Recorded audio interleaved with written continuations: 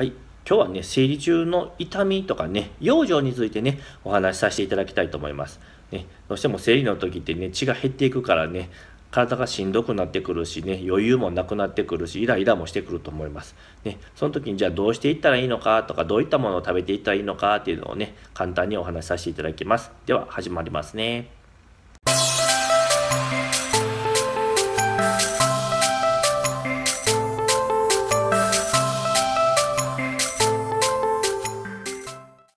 それではね今日は、えーとね、生理中の養生についてお話ししていきたいと思いますね、まあ、あの大体早い人はもう、ね、中学校とか小学校高学年からね生理が始まってね大体まあ50歳前後ぐらいまで生理来ると思うんですけども、まあ、その時にねどういうことに気をつけたらいいかとかどういう症状が起こりやすいかとかね、まあ、あの悩みの相談がね多いのでそういったこともお話ししていきたいと思います。ね、今日は、まあ、生理中のことについてねお話ししていきます、まあ、ちょっと男性は全然関係ないんですけどね女性のことでですね。まあちょっとねもう生理痛がねすごくひどいっていう方ちょこちょこいらっしゃるのでね。でどんな痛みがあるかっていうのもちょっとねあの症状によってちょっとねあの原因が違ってきたりもするんでねちょっと見ていきたいと思います、まあ、まずねお腹がぎゅーっとねなんか締め付けられたりとか圧迫されるって方がね案外多いんですね。まあ、半分以上の方は大体こうやってお腹がなんかギューって絞られる感じがするとかね。なんか雑巾絞る感じとかいう方います、うん、そういう場合、まあ、あのこれね実はあの子宮の中のね子宮内膜っていうのは剥がれようとしてあの古い血をね出してしまおうとしてるのでまああの正常なんですよ。正常やねんけども本当は痛みがねない方がいいですよね、うん、で痛みがない方がいいっていう場合はまああの言えるんですけどもね、まあ、ちょっと血が不足しやすくなったりしてもこうやって圧迫されたりした痛みって出てきます、ね、だからちょっと血を増やしていくような漢方薬を使っていくとマシになる方多いんですね。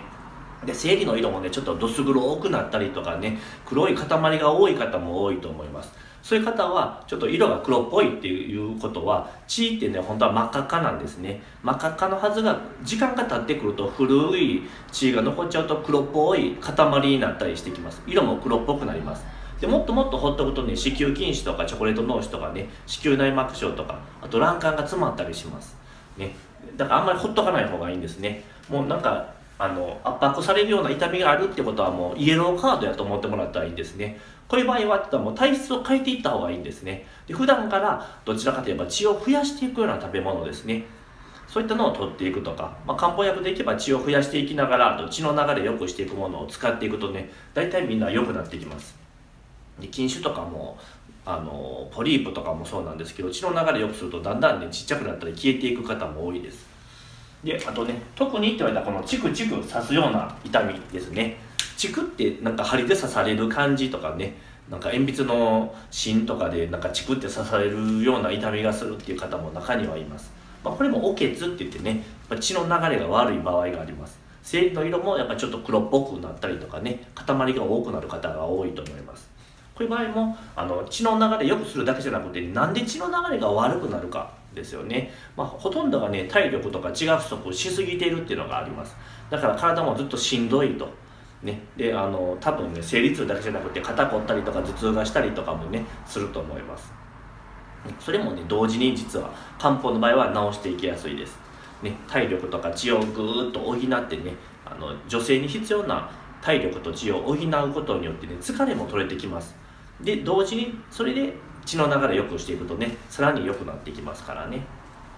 あとはね人によってね表現の仕方が違うんですけどこことちょっと似てるんですけどなんかお尻をねツーンと下から上へ突き上げられるような痛みがするっていう方も中にはいます。ね。まあこれもねあのこことこうちょっと合体した感じですよね。体力とか血が不足しすぎるっていうのと血が不足するっていうのがあります。ね。でまあちょっとお尻をねちょっと下から上へ突き上げられるようなそういう痛みがあるよっていう方やっぱしいます、まあ、これもねあの変わってくると思います。やっぱしね血を増やしながら血流を良くする。あとちょっと冷えすぎるとねあの余計に痛みが出ますから特にお腹とかおへそですね。そこが触って冷たいなっていう方はねちょっと温灸みたいなのやっていくのもいいかもしれません。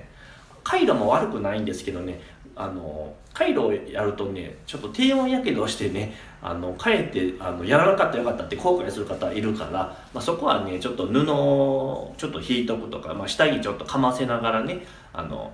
回路するとかっていうふうにうまいことやってもらったらいいんですけどね。であともっともうもっともっと重症って方はね動けなくなるぐらい激痛があってねもう会社が行かなあかんけどもう今日休むとかもう無理っていう方やっぱしいるんですね。あの数は少ないんですけどもあの10人いたら23人、うん、1人か2人はいますね、うん、あのもう会社行けないとか仕事も無理っていう方います。そうこういう時はもう無理しない方がいい。まずは。まずはねあのやっぱしね出血しているってことはね貧血みたいになってるわけやから無理にね立ち上がって動こうとするともうフラフラするからね、うん、あの良くないのでそういう時はもう仕事を休むっていうのも一つの方法です安静にする方がいいからね。でやっぱし直し方としてはねここもあの上3つと同じで体力とか血をねやっぱし普段から補っておく方がいいです。生理の時だけで飲んで治そうとしてもね多分体質変わらないからね。もちろん痛み止めとか飲んでると思うんやけど飲んでる方多いんですけど飲んで痛みがごまかしているっていうのがあるんでまあそれで生活の支障がね起こらないっていう場合はそれはそれでいいんかもしれないけどもそれそればっかりねあの頼りすぎるとねいざあの今度大きな病気だった時に今度治らなくなってくるんですね。だからあのここまでになるとねちょっと本当早くあの体質改善していった方がいいと思います。ちゃんと変わる方多いからね。で今度お腹がねしくしく痛む、まあ、ここの圧迫されるような痛みとかねとちょっと似てます、まあ、ここはそこまでひどくないんですけども、まあ、あのなんかちょっと違和感がある。生理の時はやっぱりちょっとねあの子宮内膜がギューって縮むからどうしてもしくしくね痛むことってあります。これもちょっと血を増やしてあげるようなね薬草を使ってあげるとね案外マシになっていきます。であとここですね。さらにね胃腸の弱い方ってね生理の前後ぐらいだったらもうすぐ下痢する。あとは排卵の時にもね下痢するって方やっぱしいます。難便になったりとかね。これ場合胃腸系がかなり弱いんです。でこういう場合はね胃腸系しっかりさせていくものを普段から取っとくといいです。ね。で全部加熱加熱処理したものを食べといてほしいんですね。あんまりねこってりとか脂っこいものとか甘いものねあと刺激物なんかを取ると大体調子悪くなります。あと生ものとか冷たいものもそうですね。そういったのはちょっと控えておいてほしいんですね。であとは、まあ、こんなざっくりねあの相談してると大体大大まかにね多いなっていう症状です。まあこれ以外にももちろん当てはまるものがあるかもしれないけどもね。まあ大体246個ぐらい。どれかに大体皆さん当てはまる方が多いかと思います。でもそういう場合とりあえずもう生理来たらね、休めるんだったら本当ねもう無理しない方がいいです。でゆっくり休むゆっくり過ごすってことね。これをねまず第一優先に考えてほしいんです。ね。もうそれでも仕事行かなあかんねんっていう方はうんとねほんと普段からねちょっとね体力とか血をぐーっと補っていくものとねマイルド鬼でいいから血の流れ良くするものをずっと使っていくとね早かったらねもう23週間とか1ヶ月でね体質変わる方います。うん。まあ個人差ありますよ。でも3ヶ月もするとねだいぶ変わりますよ。生理の色とかもね黒い色から真っ赤っかの色になってきますからね大概の人はね。あと生理の時に注意しとかないといけないのはって言ったらゆっくり休むってことはその言い方逆にしたら運動とかね普段してる方いいんですけど生理の時ちょっと休みましょうね。あの無理しない方がいいです。ね。運動は控えてほしい。で外出も極力ね。今日仕事休みやから遊びに来たいとか旅行計画してたっていう方もいると思います。で生理来ちゃったっていう方いるんですよね。もう旅行の時しゃあないよね。もう電車の新幹線とかも予約してるとか飛行機予約してるって場合はね行きますよね。私も行きますそういう場合は。そういう場合はねやっぱしちょっと体力とか血を増やすものねどうしても生理中って血が減ってるからね。だから補うものを飲みながら行ったらいいです。でも運動はちょっと避けてる方がいいと思います。本当ね余計にあの貧血がひどくなって倒れたりとかしたらねちょっと良くないからね。であとはねできるだけ早く寝といてほしいんですね。普段まあ11時ぐらいとか12時には寝てるよっていう方は生理の時でねちょっとしんどいなっていう時はねもう8時9時ぐらいでもいいから。でご飯とかももう食べずですぐ寝るって感じでもいいです。ね。あのあんまりの8時9時以降食べちゃうとね今度寝ようと思っても寝れないし余計疲れが取れないっていうのがあります、ね、だからまあもうしんどいなとか風邪ひいた時もそうなんですけどもねもうあえて食べずにもうさっと早く寝ることです。寝るとね大体あの体力回復していきます。で寝てる時に肝臓もしっかり働いてくれるからね。であとまあ取っといてほしいものとしてはこの3つですね。まあ基本的には色の濃い緑黄色野菜類ですね。まあ人参とかかぼちゃとかピーマンとかね。ああいったの、まあ、ほうれん草なんかもそうですけども血を増やす作用があるんですね。あとはよく噛んどいてほしいんです。噛まないでごっくんってすぐ飲み込んじゃうと大体消化不良を起こしてかえってね体調を悪くさせます、ね、であとは動物性のタンパク質でいけば、まあ、小魚ですね。ちっちゃな小魚の場合丸ごとたくさん食べれるんですね。あのちっちゃな小魚の中にレバーがもちろん含まれますよね。